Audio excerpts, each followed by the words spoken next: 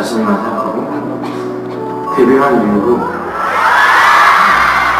사람들한테 많이 사랑을 받았고 어, 또 사회생활을 새로 경험을 하게 됩니다. 그 이후로는 저 자신도 많이 생각을 하지만 남들도 많이 생각을 하는 것 같아요. 제가 사랑을 받는 만큼 사랑을 더 주게 된 것 같아요.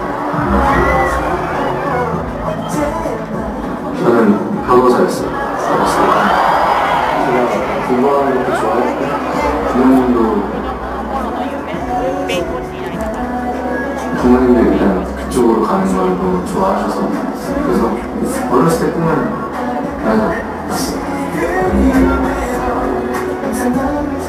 아, 저 성격은 좀 항상 긍정적인 성격이었어요. 긍정적인 성격, 밝을 때는 너무 밝고 좀 어두운 같아요. 그냥 제가 느꼈을 때 어떤 일이 닥쳐도 그게 아무리 힘든 일도 되게 좋게 생각하고 다음에 다음에 좋은 일이 있겠지라고 생각하는 그런 성격 가지고 있는 것 같아요.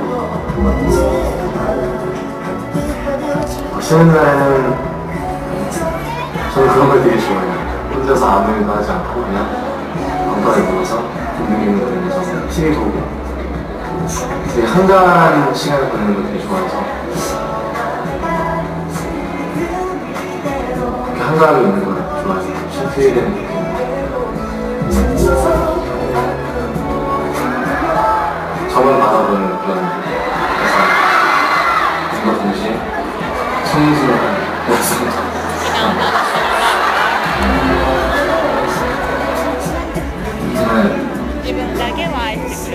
실력적으로서 멤버들께 그리고 대중들한테 인정을 받을 수 있는 그런 가수가 되고 싶고 저의 시작은 댄스 가수이기 때문에 댄스 가수로서의 역할도 다 수행하고 싶고요 그리고 제가 또 따로 욕심을 가지고 있는 발라드 쪽 분야에 대해서도 조금 더 발전을 싶어서 제 한 장점을 많은 사람들, 더 많은 사람들한테 보여주고 싶어요.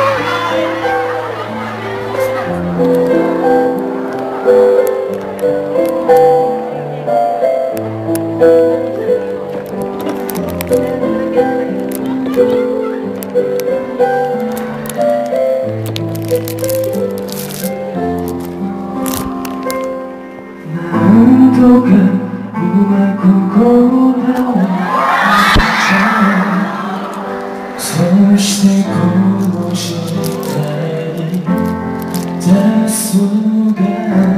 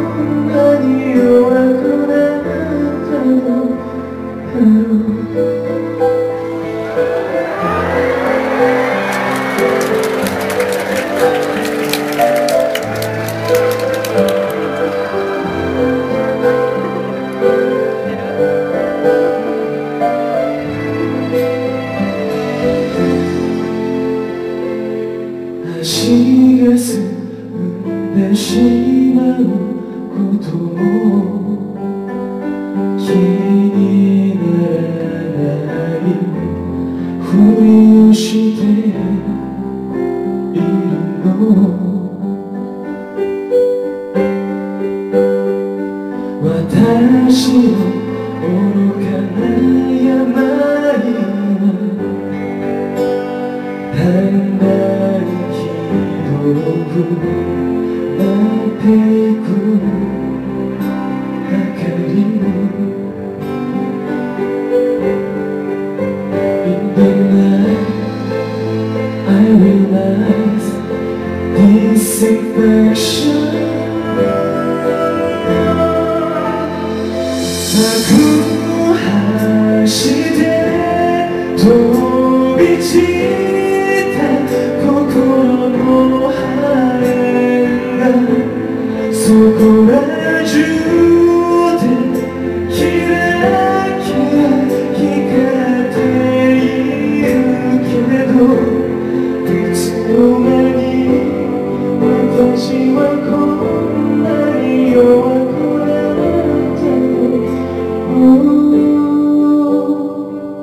away.